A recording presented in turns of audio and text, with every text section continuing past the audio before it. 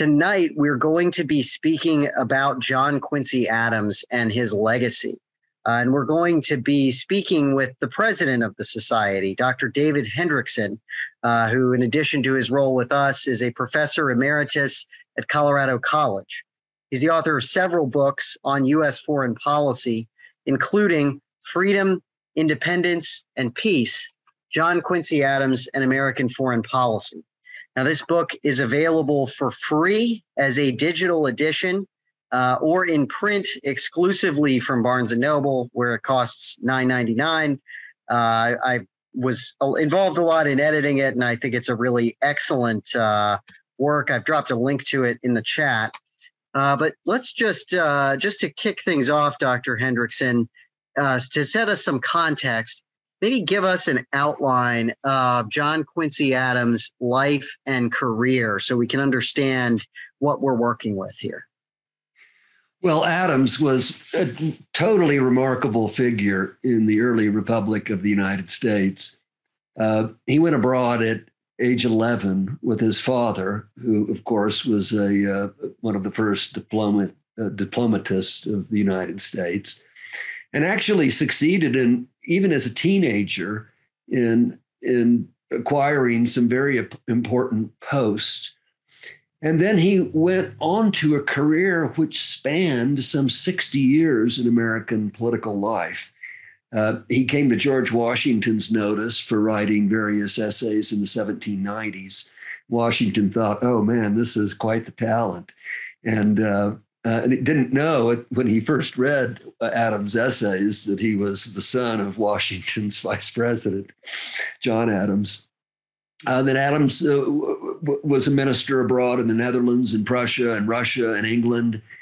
Uh, he helped uh, negotiate the Treaty of Ghent in 1815. He was Secretary of State for eight years under President James Monroe, then became president himself in 1825 and after that, he did what no other American political leader or no other American president has done, which is to resume his career in the House of Representatives, where he represented Quincy, Massachusetts, until his death in 1848.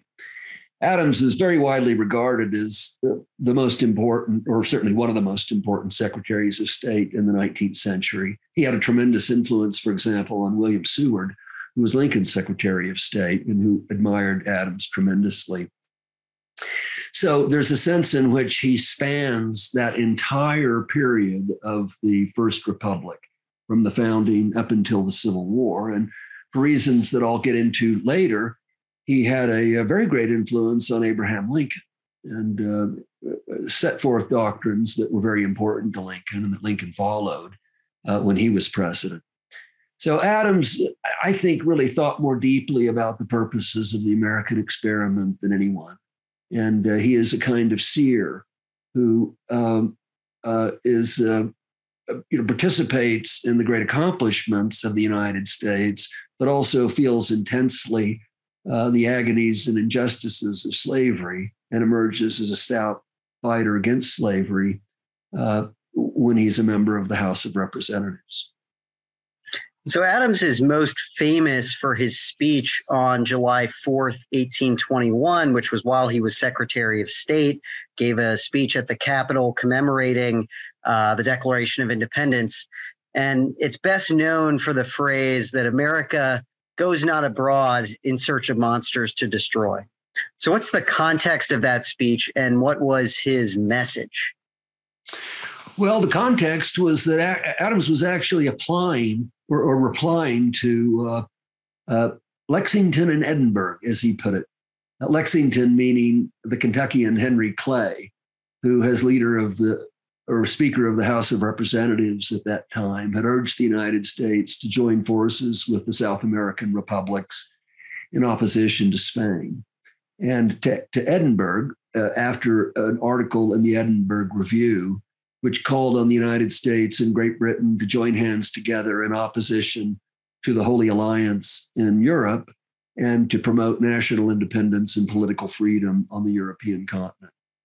And Adams was opposed to both of those enterprises. He wanted to uh, stake an entirely American ground.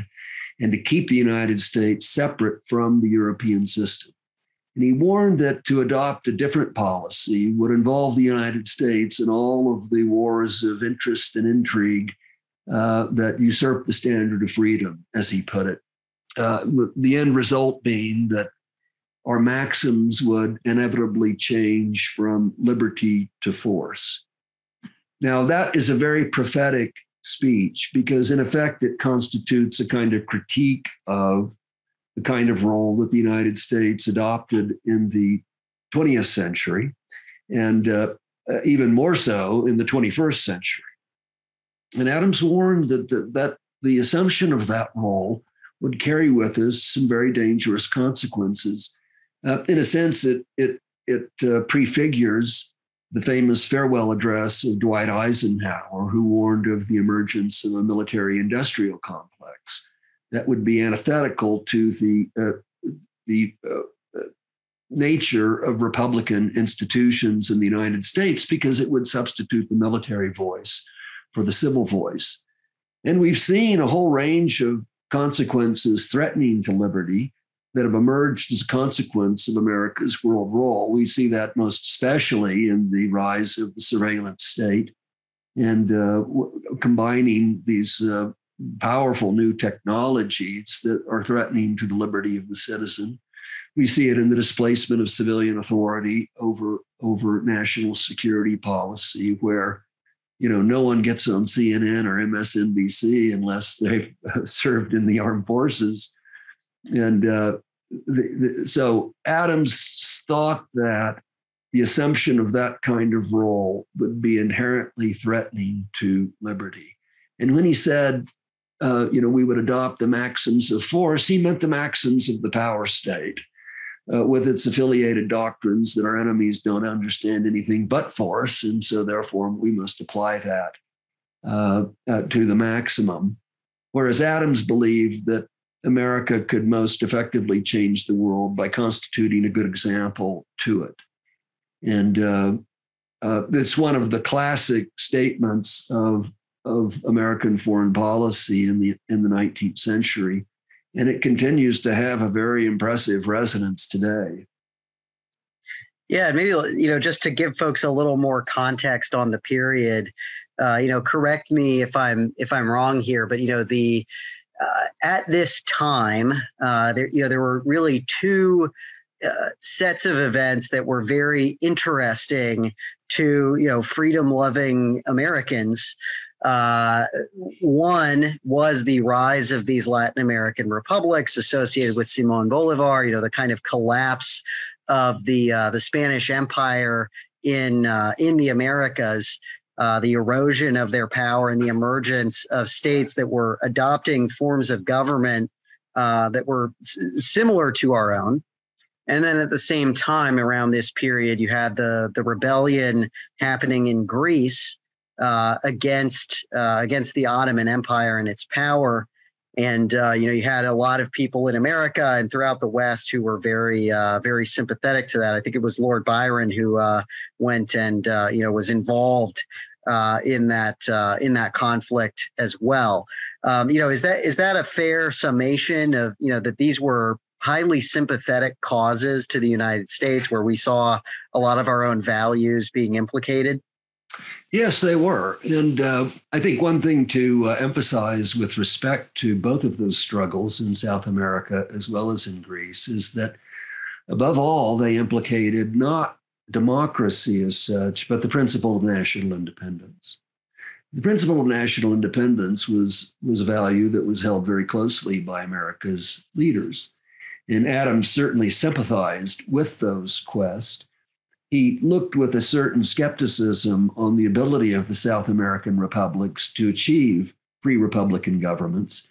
He thought that the, um, the incubus of um, Catholicism would weigh upon them and that uh, the principles of militarism inherited from Catholic Spain would prejudice their ability to, to uh, establish such governments. And in that context, uh, or, or, in that uh, argument, his opponent was Henry Clay. Clay adopted the view that, oh no, this, if you read the speeches of the great statesmen in South America, uh, they are great enthusiasts of the American experiment and look to North America as an example and as a guide.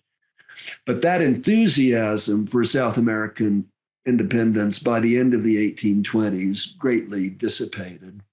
And uh, one American diplomat wrote uh, from Buenos Aires that, uh, you know, if, if any of the enthusiasts for free and republican principles in South America should witness the executions he had seen there, they would uh, they would change their mind about the ability of the South Americans to achieve that. In any case, Adams, while he sympathized with such movements, was uh, was extremely reluctant to see the involvement of the United States in their cause. He thought that only the interest of the United States would justify the use of force. And he also felt that a departure from principles of neutrality and non intervention would ultimately prejudice the cohesion of the American Union. And uh, the Union was at this time for Adams a, uh, a cardinal uh, value uh, whose preservation he considered to be of the utmost importance. And so this this context of the period also informed one of the other things that Adams is best known for, which was that he was the central figure within the cabinet in advocating what would become known as the Monroe Doctrine after the, the president he served who proclaimed it. Uh, and you tie this in your book to his support for independence. Uh, but I think for a lot of people today, if you hear the word Monroe Doctrine, it conveys almost the opposite. You know, the idea uh, of the United States dominating Latin America, determining who governs Latin American uh, countries, et cetera. What what was Adams? Uh, what was going on there with with Adams and the Monroe Doctrine? Well, you're quite right about the uh, the reputation of the Monroe Doctrine, and anything that's lasted, uh, you know, over hundred years. Um, uh, approaching 200 years because the Monroe Doctrine does occasionally get invoked today, um, uh, usually undergoes very profound shifts in meaning over time. And certainly that is the case with respect to the Monroe Doctrine. Uh, under the influence of James Polk in the 1840s, who justified the Mexican War with reference to the Monroe Doctrine, and then even more at the turn of the 20th century under the tutelage of Theodore Roosevelt and Henry Cabot Lodge, uh, the Monroe Doctrine did indeed acquire the uh, the meaning that the United States, and in particular the President of the United States, might intervene at will in the affairs of the of the governments of Latin America. And in the course of the first three decades of the 20th century, the Monroe Doctrine uh, was often invoked, and uh, there was a score of interventions in the little republics of Central America and the Caribbean, carried on under its auspices. But at the same time, uh, you know, that idea of the Monroe Doctrine was really directly antithetical to the notion that uh, Adams had put forth. I mean, the central principle of the Monroe Doctrine was the principle of national independence. And Adams also said, even at the time in 1824, when he was queried on the point by various ministers from the South American republics, that it did not entail a positive commitment by the United States to intervene. Uh, you know, South America is a pretty big place, and uh, no one really in the United States considered intervention in the uh, in Brazil or uh, Chile or Argentina, uh, the main focus was uh, the status of Cuba. And Cuba was important strategically because it controlled the outlet to the Mississippi River, down which so many, uh, so much American produce passed. Uh, but Adams was not in favor of the annexation of Cuba. He wanted to preserve the existing state of things, and he wanted to avoid a war with either Britain or the Holy Alliance uh, in, in asserting the Monroe Doctrine. His basic idea in, in relations with the, the, the South American republics was that they be founded on the principles of equal reciprocity uh, and uh, independence, a, a, mutual advantage. And uh, he didn't entertain the ideas of the kind of domineering uh, role that would subsequently uh, be fairly or not attached to the idea of the Monroe Doctrine in subsequent American history. This was actually pointed out in a famous memo written in, I think, the uh, late 1920s by a State Department official who, uh, who pointed to the dramatic contrast between the sorts of claims that the United States began to assert in the 20th century with the Roosevelt corollary to the Monroe Doctrine in particular, and what it what what it represented at the very outset. Yeah, that's the Clark Memorandum you're referring to. The Clark to Memorandum. Thank you. yeah, I think it was 1928. Uh-huh. Uh, so, that's a very so, very impressive piece of work. You've hinted you've hinted at this um, uh, earlier in in your talk, but how did Adams' views on slavery shape his foreign policy thinking? Well, the the question of slavery was of consuming uh, interest, uh, perplexity, agony, really, for John Quincy Adams. And uh, at the in order to understand his thought on that question, we have to go back and think about the role that the preservation of the Union played in his foreign policy outlook. He once said that uh, attachment to the principles of neutrality, non intervention, were absolutely indispensable to the preservation of the Union. He felt that foreign war would inevitably cause a rift within the Union. And uh, that was an ever present danger because American expansion in one direction or the other would inevitably have effects on the sectional balance of power. So Adams, like the framers of the government, uh, Hamilton and uh, James Madison, feared that in the absence of union, a state system would develop in North America very similar to that which had developed in Europe. And the consequence of Europe's state system and its interminable wars was the development of a set of institutions that were antithetical to Republican government. So that meant powerful executive branch, taxes, debts, conscription, all of which uh, struck Adams as well as the framers of the Constitution as, as profoundly threatening to Republican government. So that idea that the Constitution represented the uh, you know, the, the, the greatest achievement of political man yet in world history, uh, was central to Adams' outlook, and he, uh, he, he develops in many letters throughout his life uh, the importance of preserving it. The great break comes with the Missouri crisis of 1820. Adams had accepted the professions of, of Thomas Jefferson that slavery was an evil and a curse, and that it would ultimately be abolished and emancipation would be brought about under the influence of the principles of the American Revolution. Uh, yes, the Constitution recognized slavery, but as it looked to the future, uh, the Southern leaders, especially, as well as the leaders of the North, believed that slavery had to be abolished at some point. Now, the Missouri crisis in 1820 was a kind of uh, riveting awakening uh, by John Quincy Adams, where he realized that the Southerners, far from pursuing the abolition of slavery, were interested in its expansion. And Adams saw the expansion of slavery as a uh, as a grotesque uh, departure from the purposes of the American Revolution. And a, a denial of the professions that had been made uh, by Southern leaders at the time the Constitution was adopted.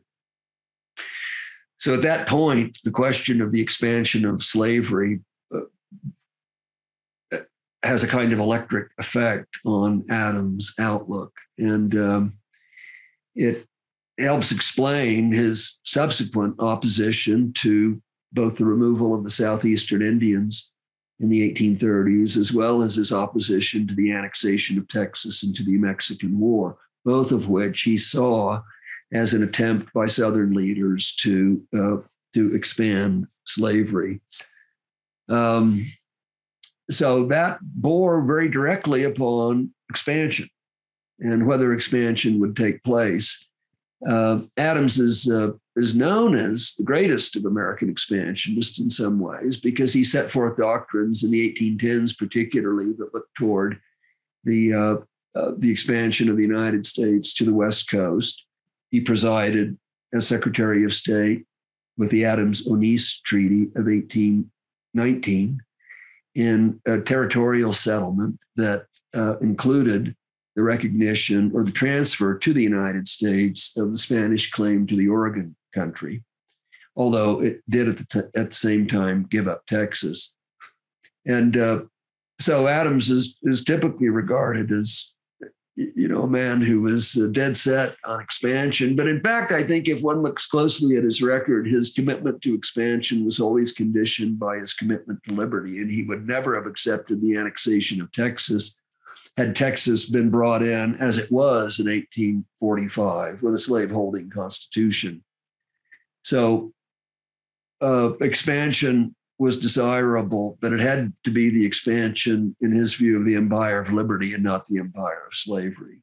And expansion also had to be looked upon skeptically if it threatened the dissolution of the Union. So, related to this, you suggest that political courage uh, is is a really central feature of John Quincy Adams' character. How so? Well, Adams is just about the most courageous figure that I've ever come across in my historical studies. Um, excuse me. There were many instances in his life where he uh, uh, basically struck out on an entirely independent course and did things that uh, people considered absolutely fatal to his political prospects. Uh, one great instance of this was that a senator from Massachusetts in 1808 he supported Jefferson's embargo. Now Jefferson in 1808 was a greatly reviled figure in New England, and for John Quincy Adams, son of John Adams, the Federalist, to uh, to support Jefferson's embargo was considered absolute heresy by the Massachusetts Federalists who had supported his uh, nomination to the Senate in 1803. They forced Adams' resignation in 1808 because of his stance over the embargo. But Adams said uh, at the time, uh, rather than regretting his actions, I would do them over again were they now to be done at the hazard of 10 times as much slander, unpopularity, and displacement. Well, that was actually something of a forecast of the future because when Adams was in the House of Representatives, he uh, fought bravely for the elimination of the so called gag rule on petitions of slavery for the end of slavery in the District of Columbia, then under federal jurisdiction. And uh, Adams suffered a tremendous amount of criticism for that. One of his constituents, here I'd like to quote again, wrote that amid insults, abuse, and obloquy, the fiercest fury of the Southern invective, in the wildest of the storm, breasting the mad lashings of the waves, Adams stood undaunted and secured the removal of the gag rule in 1844. That was a tremendously courageous thing for him to do. As I say, he stood virtually alone with no allies and braved uh, the slings and arrows of the most withering criticism from Southern leaders. Yet he stuck at it and did so, you know, with a kind of admirable coolness on the, house, floor of the House of Representatives. So those are just two instances of Adams' uh, courage.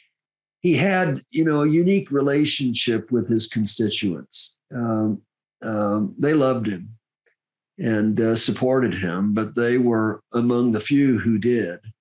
And uh, he he suffered tremendously for that uh, for his brave stance. As I say, it's very difficult to think of anyone else in American political history that uh, uh, that displayed such incredible courage at various moments of his career. And I believe he was uh, censured by the House for violating uh, the gag rule in the course of uh, in the course of debate. Um, yeah, well, you know, occasionally people would say that he should be hung. I mean, you know, the proposals too. were made at various points to that effect. When he opposed the uh, annexation of Texas in a public letter of, of, of 1843 and held that the annexation of Texas would be identical to the dissolution of the Union. Uh, the House of Representatives brimmed with speakers who said that his uh, neck ought to be, you know, dealt wow. with in a certain fashion. Well, you uh, mentioned happily he survived that, though. Yes, you mentioned Abraham Lincoln and William Seward as as heirs or standard bearers for uh, JQA's thought after his uh, after his passing. I'm, I'm curious if you could say a little bit more about that. Yes, well, that is one of the fascinating things about Adams. As I say, he he begins his career at the knee of his father and of uh, other Federalists uh, concerned with the uh, bringing about the American Revolution and then the formation of the Constitution. But he casts this extremely long shadow because all of the stances that Adam, Adams takes in the 1830s and 1840s very much prefigure uh, Lincoln's political career. I mean, Adams is stout in opposition to the expansion of slavery. That too is Lincoln's issue in the 1850s. Uh, uh, Adams had ascribed uh, the great cause of the sectional conflict between North and South to the South's abandonment of its previous acknowledgement that slavery was an evil and a curse. And that was exactly Lincoln's view. Uh, you know, that's what Lincoln uh, that was the factor to which Lincoln ascribed the uh, uh, the great sectional controversy that came to boil in the 1850s. There are other aspects of the Adams program as president, his embrace of the protective tariff, for example, and his support for internal improvements that were also central to Lincoln's political creed.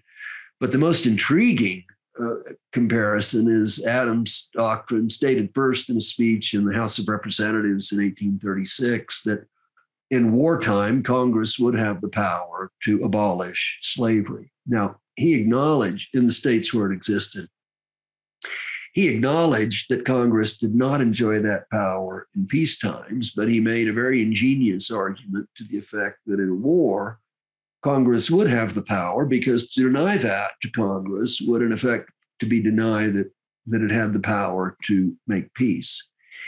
And uh, in a later speech, he extended that power of emancipation to the executive. Well, when Lincoln was elected in 1860 and people were getting beginning to confront the prospect of a civil war, people in Congress drew, drew attention to Adams' historic speeches on the question.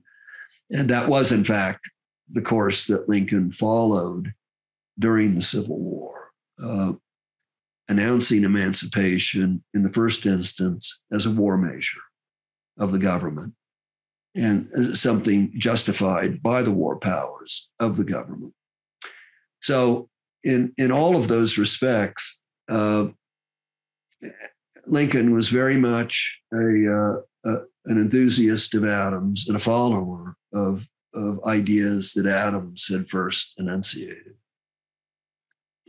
So you, you conclude your book by drawing themes from Adams's thought and also from some other early American foreign policy figures.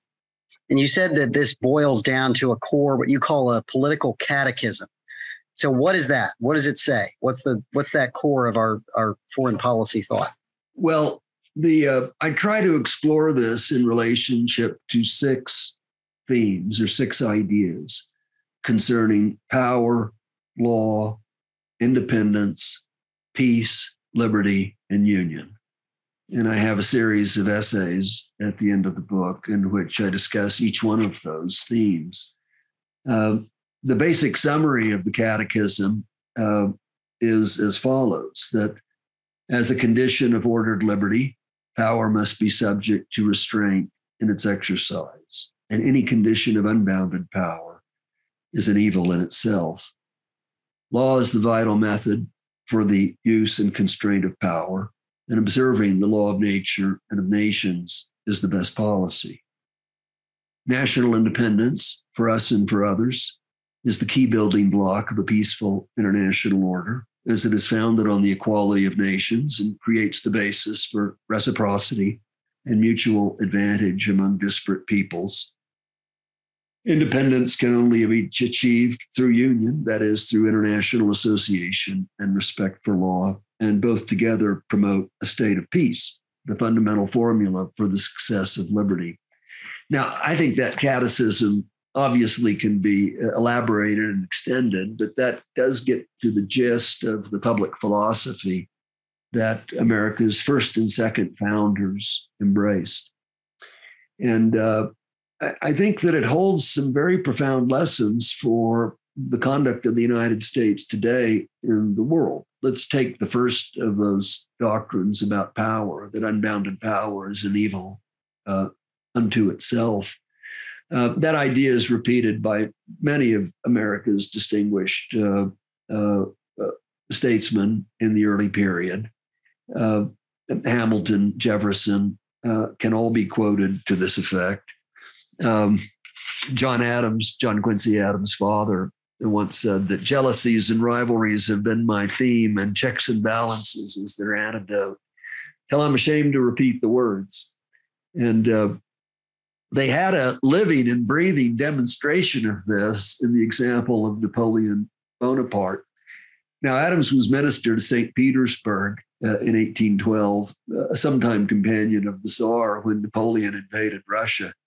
And, uh, you know, that was one of the most extraordinary events in world history. The Grand Army of 600,000 men uh, invading Russia and then suffering in the bitter winter of 1812, 1813, uh, the loss of, of basically the entire army. Uh, just an enormous, awful carnage. And when that occurred, Adams said, You know, there's nothing like this since the uh, days of Xerxes. And he exclaimed to his diary, um, The crisis is great and awful beyond exa- all example. Almighty God grant that it may turn to good, to peace, to the relief of mankind from the dreadful calamities of unbridled ambition. Now, I think it's interesting to think about that. Not only the statements of John Quincy Adams, but of other of others of the founding fathers, that unbounded power is a dangerous thing in relationship to the strategic doctrine of the United States over the last 20 years. For what have we heard from our? That uh, American military superiority is the objective that we should attain to that we want a condition of military superiority that is that would be so great that no other nation would challenge it as george bush bush said in his second inaugural. And i think that on the face of it uh, if confronted with such statements the, the founders would immediately raise the objection that no this that kind of condition of power is obviously subject to abuse. It needs checks and balances, and that those must be found somewhere. Now, we can argue today about where they ought to be found, but that they need to be there, I think, is a kind of first principle of the political science of the uh, of the founding generation, and one that John Quincy Adams very much shared. Uh, you know, back in the '90s, uh, American pundits uh, were saying all the time that not since Rome has uh, one state so dominated over the international system. And uh, but for the founders, you know, the whole Roman experience uh, showed the perils of that kind of condition of unbounded power. it showed that uh, Roman expansion was a threat to the independence of nations. Uh, and so they rejected that completely and utterly as an example that the United States should follow. Uh, that doctrine of with regard to the need for checks and balances on power obviously entered into the federal constitution. It was kind of part of the warp and woof of the institutional structure that the founders created.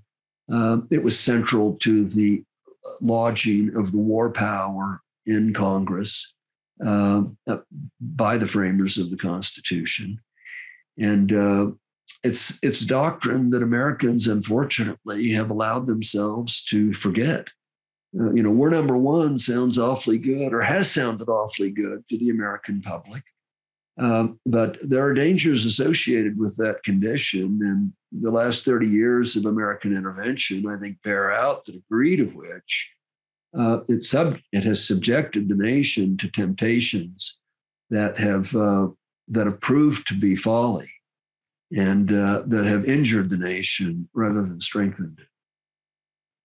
So one of the themes that I, I, found interesting that you focused on in this uh, this last section of your book was law. What did that mean for Adams?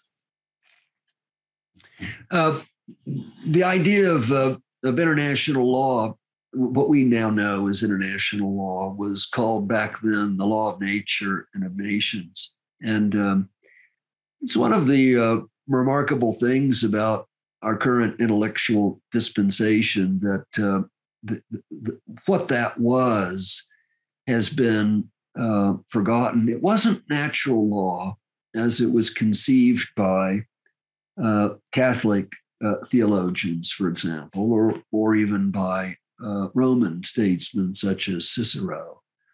It was based very much on rational calculation, that is, on the idea that people and states had to treat one another in relationship to the golden rule that you know do not that to another which thou wouldst not have done to thyself. So every nation had a right to national independence. It had a right to use force uh, to protect its just claims, but it also had an obligation to respect the rights of others. Uh, you know, you were to do all the good you could to others, but without injury to your own interest. So this was an architecture of thought that was very widely shared by the founding generation and by John Quincy Adams. And uh, I think an important feature to recognize in, in assessing that is that it was actually rooted in a, in a kind of prudence. That is, it, it, the, the strictures of the law reflected the lessons of experience that were embodied in basic maxims. And we can see the, uh, the force of that in in the contemporary legal order, which under the United Nations Charter basically reincorporates central propositions of what in the 18th and 19th century was called the law of nature and of nations. Uh, preventive war is illegal under the United Nations Charter. Well, uh, when we say to ourselves, uh, um, why should we respect that rule? Some people might say, well, it's just a piece of parchment. It's just a, uh, you know, a norm that can easily be disregarded if we find it in our interest to do so. But for someone like John Quincy Adams, as for other believers in the law of nature and nations, it also reflected the lessons of experience. That is, it reflected the notion that if you do injuries to others, they will have an interest and incentive to commit injuries to you. And uh, therefore, staying within the confines of justice, not undertaking wars unjustly, uh, was a lesson for you know one's own preservation just as much as it was respect for uh, a legal principle. So that uh, that idea of the law of nature and of nations that uh, you know was was very important to Adams' uh, generation, and uh, I think we've really lost sense of that. And uh, one of the things it counseled was that nations not only had a right to preserve their own interest, but they also had duties to be restrained in their conduct of foreign policy and to act in such a way as not to infringe upon the rights of others. And uh, as I say, I think that that's a vital principle that uh, we would do well to respect today. I've got a question from Elliot who asks How do Adams' foreign policy ideas compare with Jefferson's? well, that's a, that's a tough one. I think they're broadly uh, broadly similar. Uh, the uh, Adams was, uh, as I mentioned earlier, a supporter of the Republican administration of, uh, of Thomas Jefferson and its uh, most uh, problematic act, the embargo of 1808. Uh, he's appointed as minister uh, to uh, Russia by James Madison, Jefferson's successor. he becomes Secretary of State under James Monroe, the third of the Virginia dynasty. And so there's a basic fundamental concordance between Jefferson's foreign policy and uh, that's which Adams adopted. Um, he was much more critical of Alexander Hamilton, Jefferson's great adversary. Uh, you know, in the in the late 1790s, Hamilton broke from the presidency of John Adams over John Adams' uh, peace initiative that he undertook in early 1799 toward France. And uh, Adams had a very acerbic view of Hamilton's motives in that regard, thinking that he wanted the creation of a 50,000 man army and that he was uh, dead set on cooperating with the Venezuelan Francisco Miranda and uh, the British government in a wild scheme to use the British Navy and American land forces to liberate South America. Adams was horrified by that John Quincy, as well as his father, John Adams. But it was hugely significant in leading to the split within the federal party uh, that, in effect, delivered the election to Jefferson in, in 1800. But on the fundamentals, uh, uh, Adams was very much uh, in line with the, the Jeffersonian consensus in, in foreign policy. And you know, after the wars of the French Revolution and Napoleon, which split the two parties very deeply, with the Jeffersonians being more anti-British and the the Hamiltonian Federalists being anti-French, each accusing the other of being, you know, pro-British and pro-French. Uh, the uh, those issues, with once peace was accomplished in 1815 receded in importance. The kind of controversies on the high seas that had brought the United States into antagonism with Great Britain uh, were no longer present. Britain had no need to impress American seamen, for example, uh, as they had done in the struggle against Napoleon. So, uh, yes, Adams uh, Adams was a uh, I think in some ways he's he's best seen as a kind of legatee of both sides in the party dispute, and he says this in his first inaugural that he learned from both sides. But in his larger political career, he was more Jeffersonian than Hamilton. A question from Matthew. In your view, are there any statesmen who have carried on the tradition of John Quincy Adams' foreign policy? How about Ron Paul? I think, you know, one goes back to Bush's Iraq War. It was Ron Paul who was really stating uh, kind of those classic principles more emphatically than anyone else. And uh, I don't subscribe to all of Paul's views on public affairs, but on the uh, on that central principle of the uh, of of whether the United States should go to war to ex- extend democracy, uh, which proved to be such catastrophe in Iraq. Uh, it was Ron Paul at the beginning of that crusade who was most stout against it.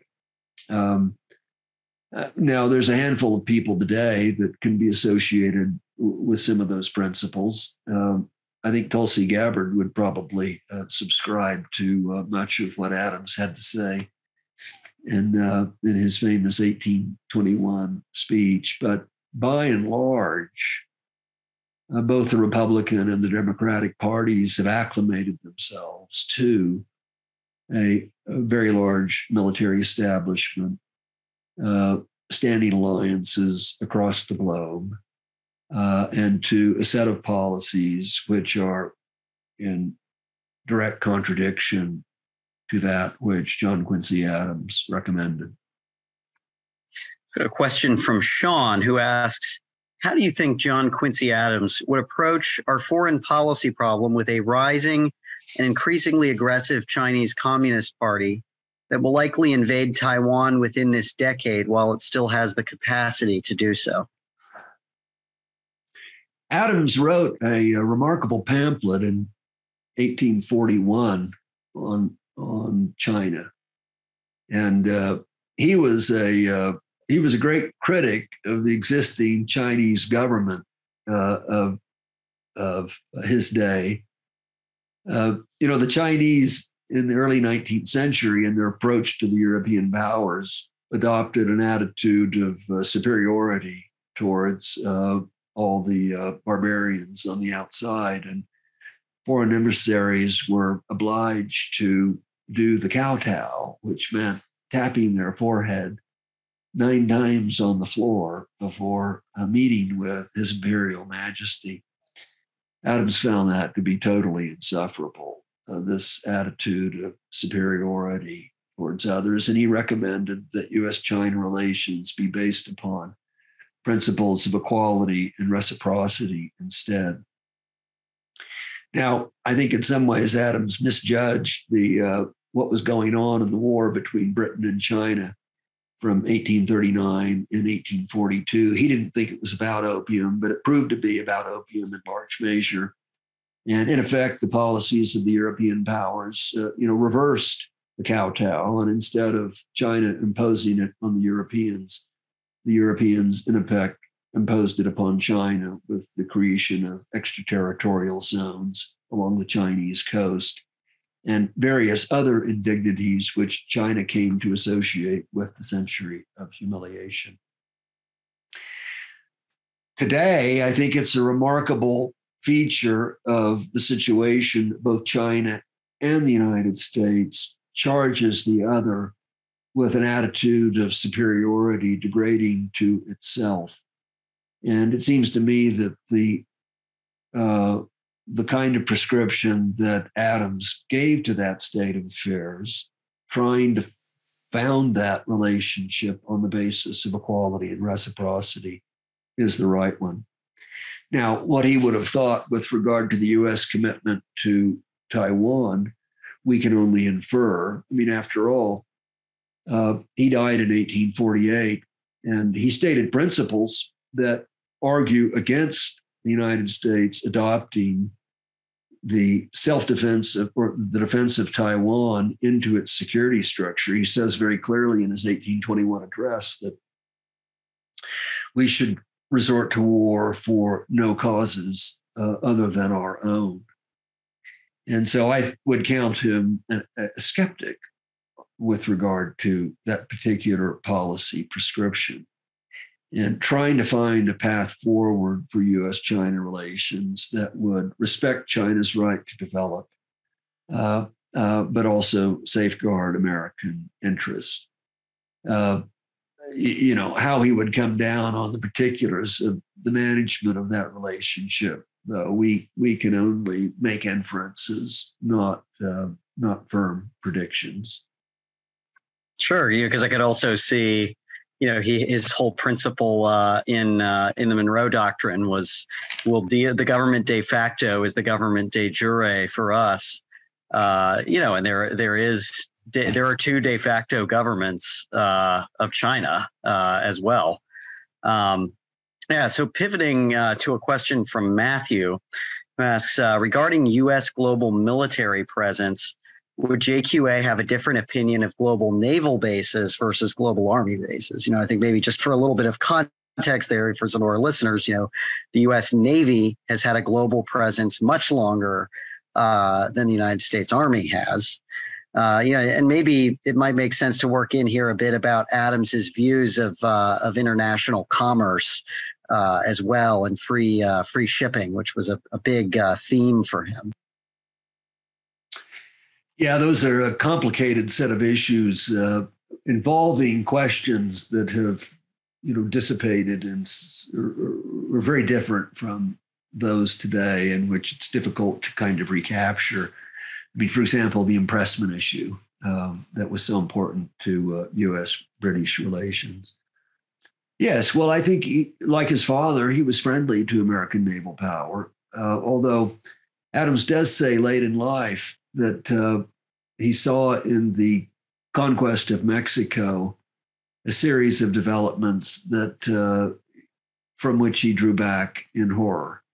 Uh, uh, you know that the United States would become a colonizing nation with bases all over the world uh, and have an aggressive policy. And so, you know, if you look at the development of naval power in subsequent years under the auspices, say, of Alfred Thayer Mahan, you know, I think Mahan had a conception of Amer- American naval power that the United States, by virtue of commanding the seas, would be able to exploit that advantage, which doesn't really kind of express Adams' view.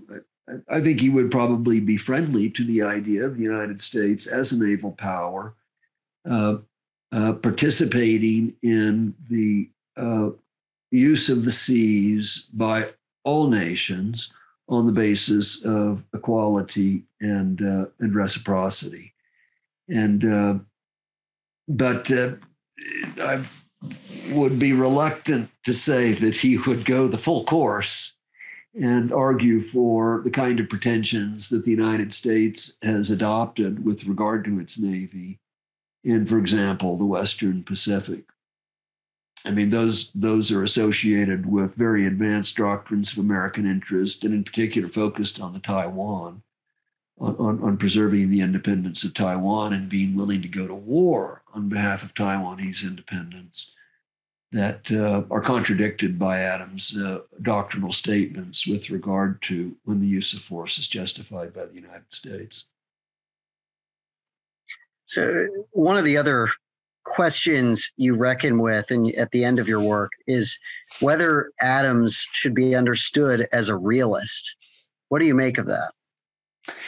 Well, yes, in, in certain respects. I think probably I would characterize him as a liberal realist uh, as someone who can't really be captured by uh, the, the, the ideas that are associated today with realism or liberalism. But the law of nature and of nations, in, in effect, incorporates both of those strands. And for someone like Adams, it was axiomatic that the security, prosperity, and liberty of American citizens was the foremost duty of American political leaders.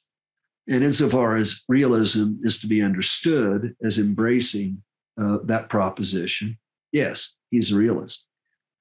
But he also believed that the pursuit of the national interest had to be circumscribed by the uh, recognition of, of norms that were obligatory on republics as well as kings, uh, that had to be rooted in justice. Uh, he accepted the uh, admonition of George Washington in the farewell address that this nation was to observe justice and good faith with all nations, uh, seeking peace with all.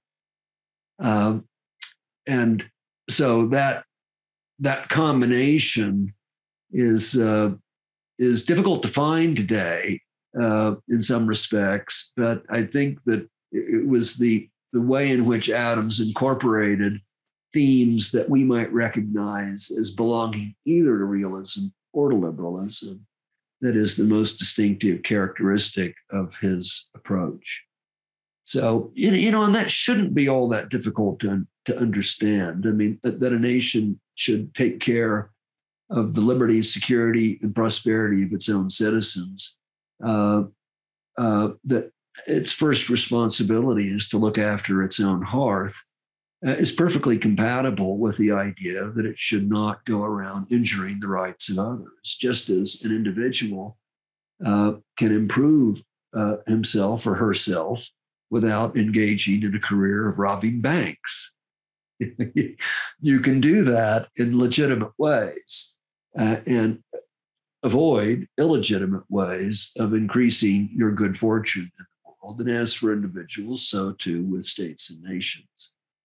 And that was very much Adams' uh, Adams' viewpoint. Now, I should add parenthetically that the idea of liberalism that uh, is present prevalent today is you know very different from the sorts of ideas that were associated with the liberal ethos back in the 19th century. Because back in the 19th century you know liberalism was very much associated with the right of national independence and with the right of nations to find their own way and didn't assume that any nation had a right to uh, force others to the adoption of what they acknowledged to exist as universal human rights. That was up to them. They had to find their own way to freedom.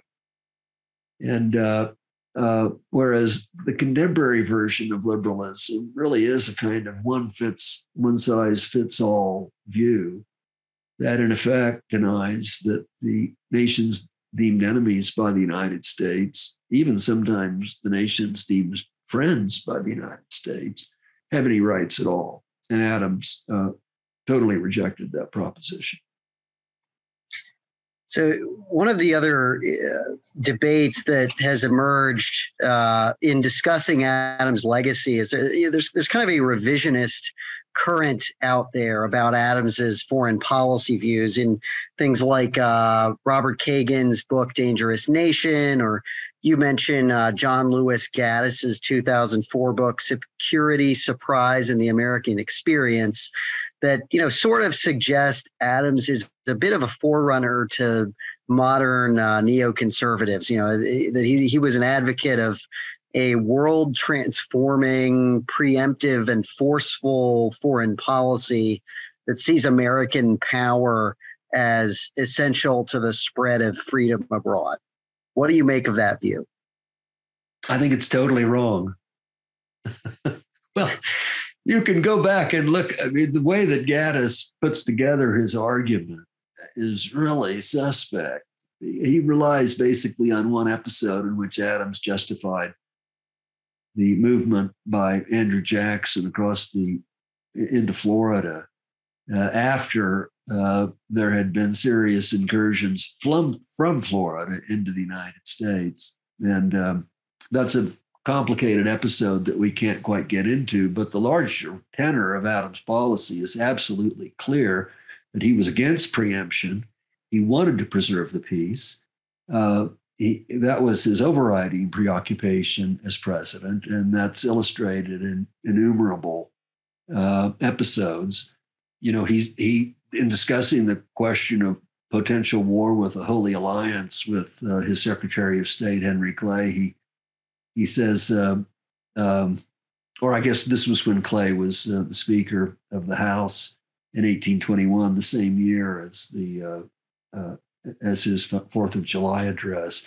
He says we should go to the wall uh, before using force. Make every attempt to put the other side in the wrong. You know, and he recognized that if the Holy Alliance were angling for uh, uh, a war with the United States, the United States would have no choice but to meet it.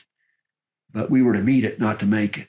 That is, uh, he stated a principle there that was diametrically opposed to the doctrines of preemption and preventive war that uh, prevailed under the first uh, under the George W. Bush administration.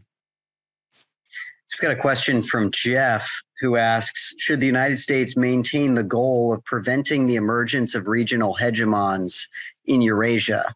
Uh, and maybe to, to tie Adams in a little more tightly with that, uh, you know, what what do you think he thought he would have thought about that as kind of an ethos for our foreign policy? And yeah, maybe do you think the the rise of Napoleon uh, during his time as a diplomat, you know, who under the continental system had a lot of power in Europe uh, is an example of, of hegemony and how Adams might have reacted to it.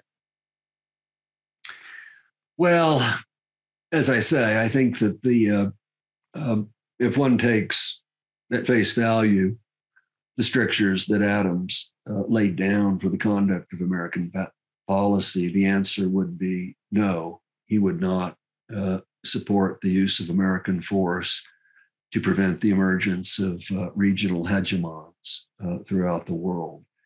I mean, that in effect is a formula for uh, endless war. And it's a formula for the kind of military establishments that we've maintained. Now, having said that, uh, a lot's happened since he lived.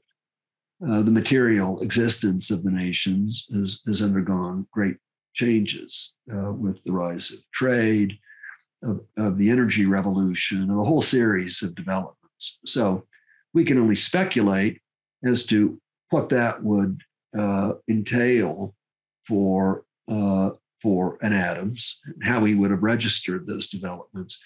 I say at the end of the book that one of the striking things that one learns going through life is that people who revere the same figures and look up to uh, great figures in the past, like a Hamilton or a Jefferson or a John Quincy Adams, uh, frequently don't agree on the policy questions that uh, uh, we confront today.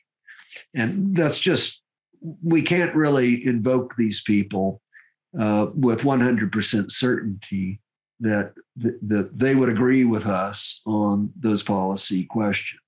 But I still think that we can learn from them.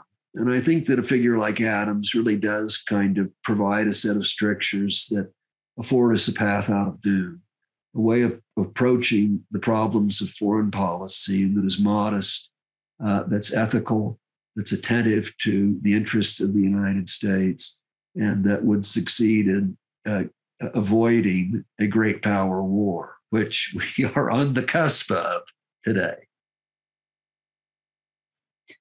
All right. Well, we've been speaking with the Society's president, Dr. David Hendrickson, about his new book, Freedom, Independence, Peace John Quincy Adams and American Foreign Policy, which is available online at Barnes and Noble from today. Uh, and is also available as a digital edition for free on the Society's website. Thank you, Dr. Hendrickson. Thank you to everybody for attending.